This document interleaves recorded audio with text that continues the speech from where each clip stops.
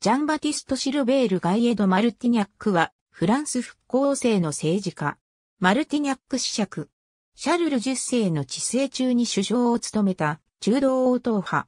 1778年6月20日に、ボルドーで生まれた。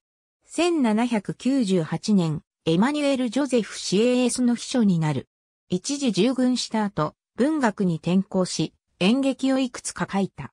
フランス第一帝政時代では、ボルドで弁護士として成功を収め、1818年には宮廷のアボカーゲネロルに就任した。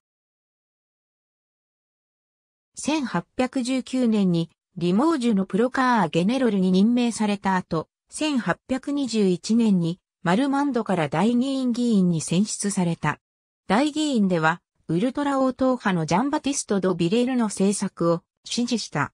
1822年にカンセラー D8 に任命され、1823年には王太子のアングレーム公と共にスペインに向かった。1824年に子爵に除され、ディレクター、ジェネラル・オブ・レジストレーションに任命された。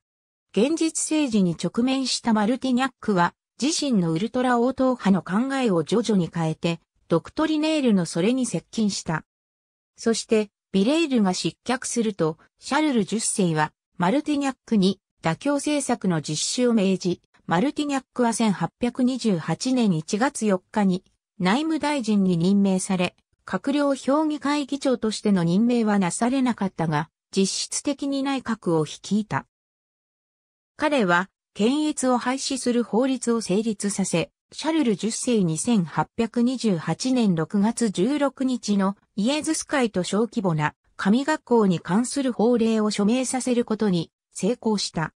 しかし、彼は極左と極右からの攻撃にさらされ、両者が結託した結果1829年4月に大議員でマルティニャックの議案が廃案に追い込まれた。